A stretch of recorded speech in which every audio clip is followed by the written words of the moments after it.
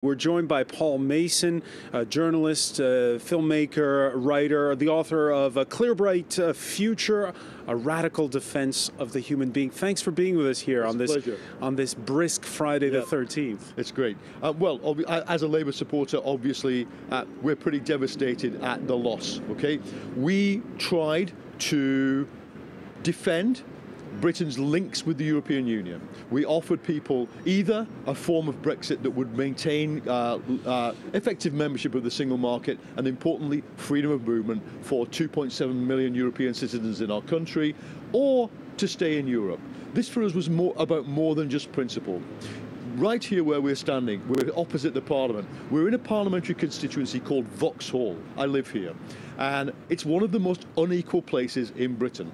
It is, it, there is abject poverty in the streets just 100 metres away from where we're standing. They voted 57% for Labour. They voted 50, maybe 60% to stay in Europe. This is also the working class. This is also uh, the people of Britain.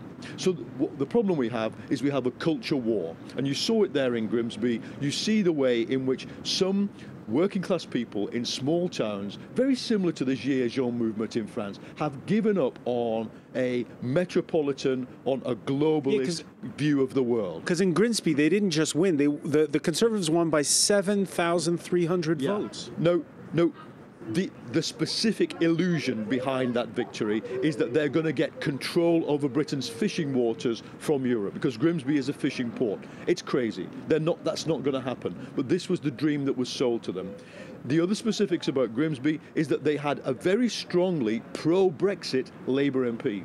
She, she said she voted for, for Brexit at every opportunity, and she said, even if it's no deal, like this ultra right wing, uh, again, fantasy of no deal Brexit, she would have voted for that, but she still lost her seat.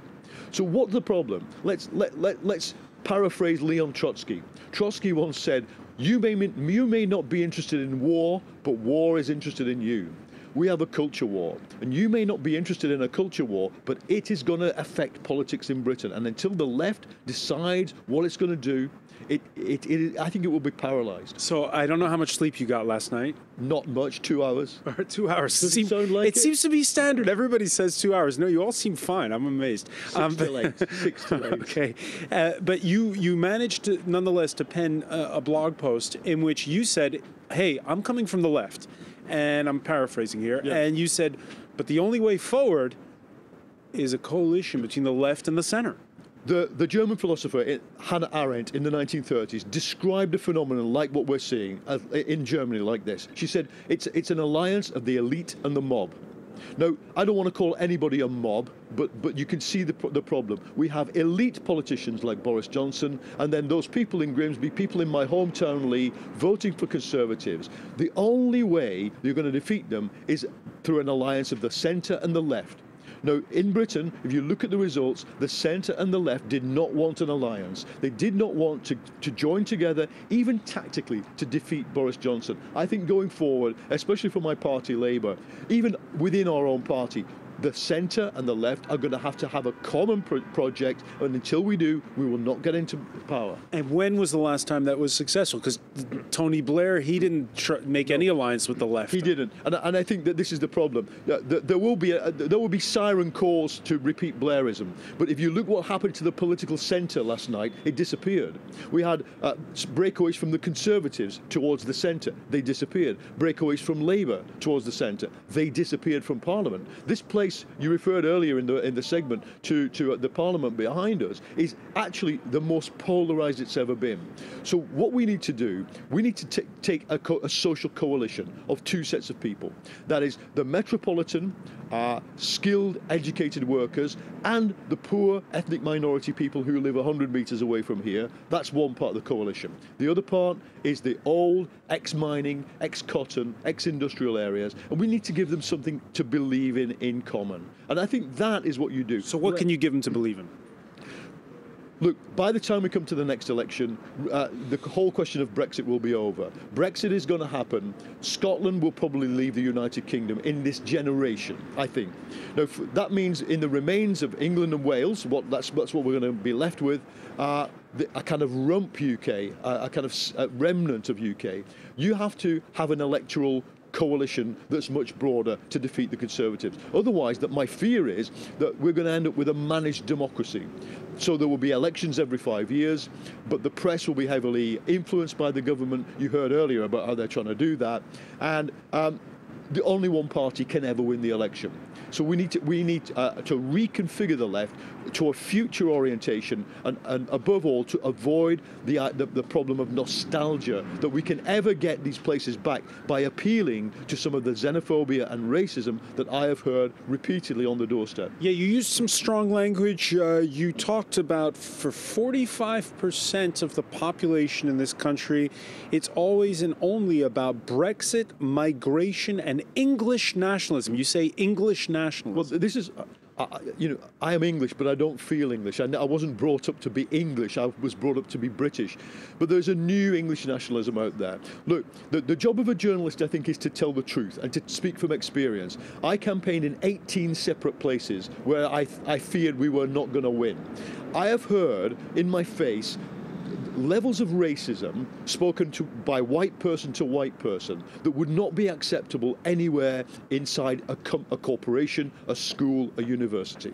Now, it's not fashionable to say this because we are a former imperial you know power there, there is an assumption of supremacy and privilege by many white working class people that, that, that some of the MPs who represented them never challenged. This is the problem. So as soon as it be, our, our party began to four, three years ago identify with a, with a metropolitan and globalist vision of the world, those workers were turned off. So you have to be honest about that. And what's good, what's positive, is that in those very same workplaces, younger workers, equally poor, equally working class, do not accept those values. And we have to represent them. All right, Paul Mason, explain it to us because earlier Nico Hines from the Daily Beast was telling us how, uh, in covering this election, he went to uh, these labor leave constituencies and was surprised to see on doorsteps the amount of vitriol directed not at Boris Johnson but at Jeremy Corbyn. Yeah. So, so if you accept that there is now a culture war in Britain, the same as there is in the United States, there is there is a, a war over values. Uh, I, think that I would define it as, as nativist. The assumption that, that because my grandfather was a coal miner, I should, I should be able to have a greater say in the future of this country than a, a, a taxi driver who came from Pakistan 20 years ago which we as socialists reject. This is this nativist assumption uh, is there,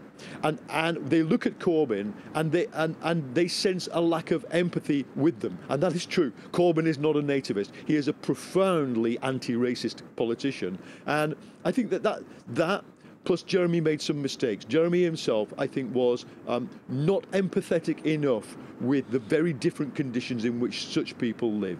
Um, he doesn't live in them himself. He represents a, a constituency, again, like here, very poor, very multi ethnic.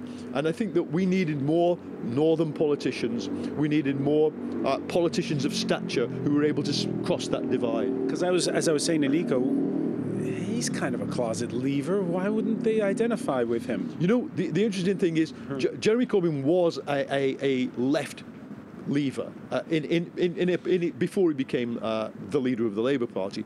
But he stuck fairly rigorously to the script that the party outlined for him. That is, we are critical Remainers.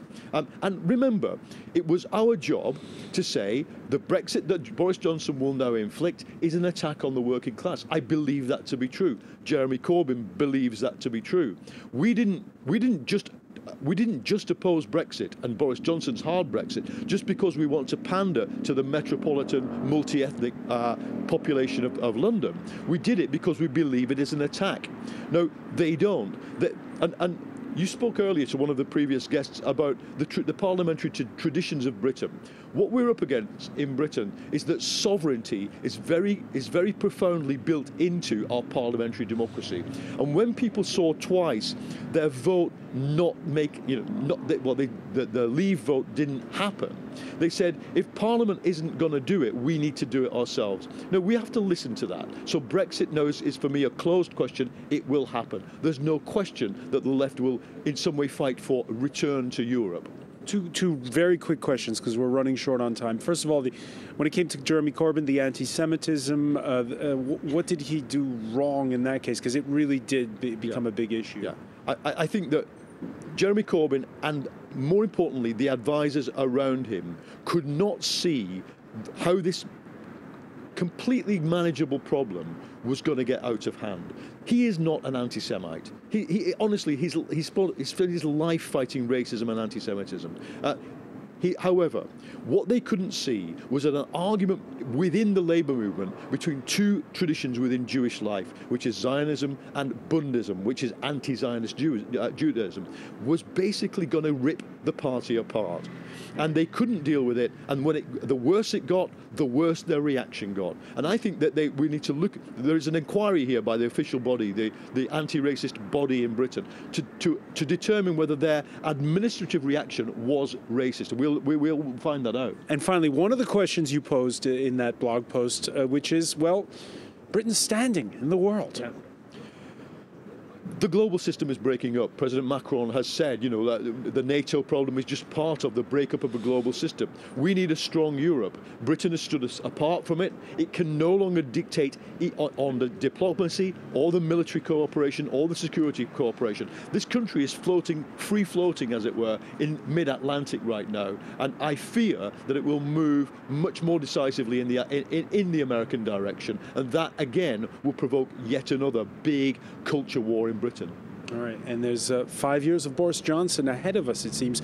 Uh, Paul Mason, many thanks for being with us. It's a pleasure. Thank you.